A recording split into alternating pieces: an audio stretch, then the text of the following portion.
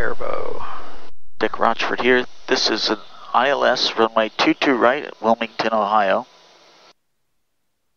The glide is present, the course is centered, and you can see from the, the uh, display we're approaching the runway expecting a, a glide to come alive here.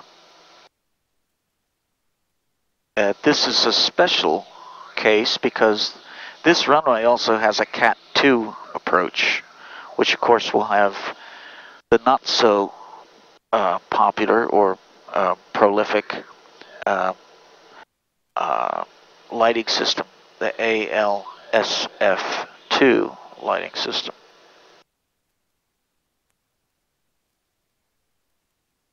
Here.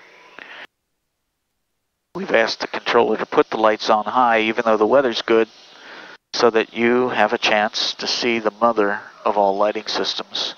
This is important because the ALSF2 has red sidebars and uh, those sidebars are specifically mentioned in the regulations with respect to visibility and uh, descent below DA.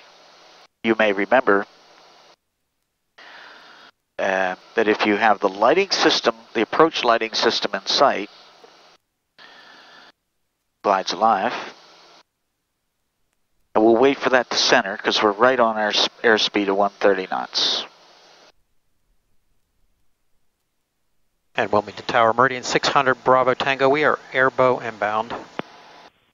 Meridian 600 Bravo Tango, roger. Runway 22 right, cleared for the option, wind 150 at 6, and I've got the lights on step 4. Do you want the flashers on also? Affirmative. Affirmative, and thank you. 600 Bravo Tango.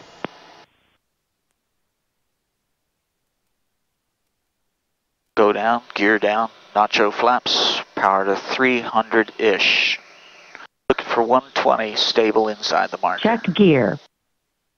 And there we have three greens, so Betty should be quiet from here. All right, so the beauty of the uh, ALSF2 is the red sidebars. Uh, the reason this is important to the serious flyers because Part 91 aviators are allowed to continue their descent with the red terminating bar or the red sidebars in sight. Meridian 600 Bravo Tango. Foxtrot's now current. The altimeter remains 3039. 3039, thanks. 600 Bravo Tango. Lights look great. Merry Christmas. uh, so the importance of that is that you may not land even though you're below DA if you do not have the visibility for the approach. So uh, runway environment in sight in a position to make a normal landing and the visibility for the approach.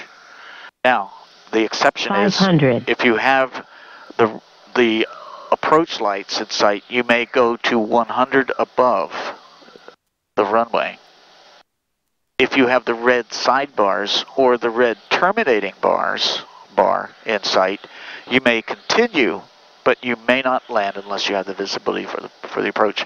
So at this point, you probably hear the angels singing and the voices from above. That, my friends, is an ALSF2. Okay, toga, and in the M600 there is no autopilot disconnect. We just bring the power to takeoff power.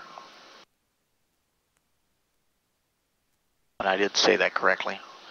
Positive rate. Positive rate. Cruise coming up. Gear flaps. No need to touch the trim in this airplane. If you do, you knock off the autopilot. But as we approach the 130-ish uh, airspeed will engage filch, and of course nav for the missed. And Wilmington Tower, Meridian 600 Bravo Tango, we are on the missed. Meridian 600 Bravo Tango, roger, what are your intentions? Uh, we'll be leaving the, the area, thank you. Yep, thank you very much for uh, the help this morning, and uh, we're going to head back southwest towards Cincinnati Lunken, 600 Bravo Tango. 600 Bravo Tango, roger. Uh, no traffic in that vicinity that I'm aware of. The reason why we couldn't find the Fokker was is uh, I didn't realize it, but he was just basically orbiting over the field. Uh, it's Okay, we did finally catch him there when we made the uh, base turn uh, for 600 Bravo Tango. Thanks. This is Dick Rochfort. Fly safely. Train off